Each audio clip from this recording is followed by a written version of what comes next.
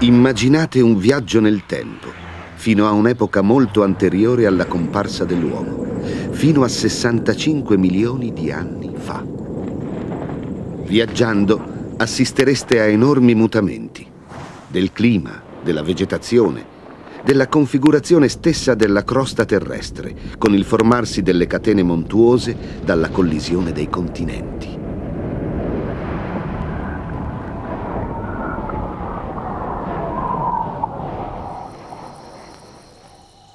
Siamo approdati a un periodo molto importante nella storia della Terra, il Cretaceo. È un mondo totalmente diverso. L'Himalaya non esiste ancora e l'Atlantico è largo la metà. Non c'è traccia d'erba, solo foreste di conifere e distese di felci. È il regno dei dinosauri.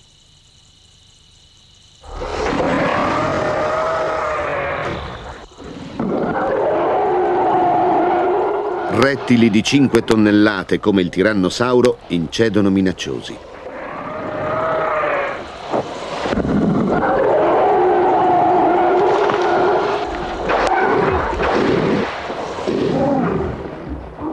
Vi mostreremo come vivevano queste maestose creature, come si nutrivano, lottavano e si riproducevano. E vedremo come le forze della natura abbiano cospirato per portarli all'estinzione.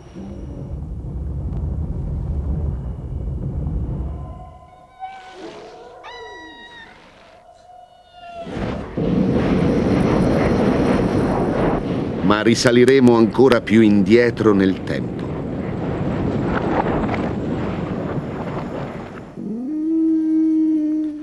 Qui siamo nel Giurassico, il periodo in cui la vita sulla Terra assunse le sue forme più spettacolari.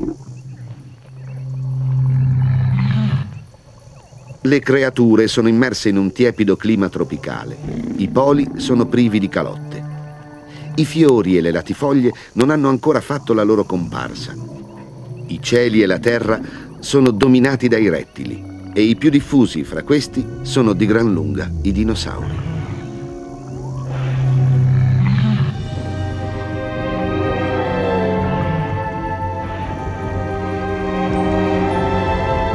Ma i dinosauri non sono gli unici giganti.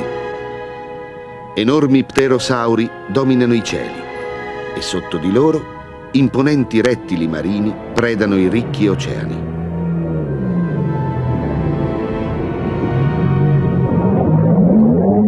Andremo però ancora più lontano nel tempo, fino a scoprire l'origine dei dinosauri.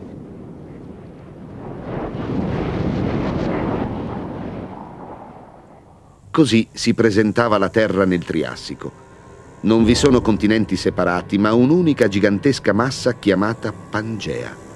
È un luogo aspro, coperto di deserti.